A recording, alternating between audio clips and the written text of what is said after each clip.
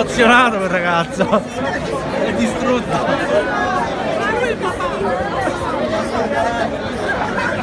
È distrutto quel ragazzo. No!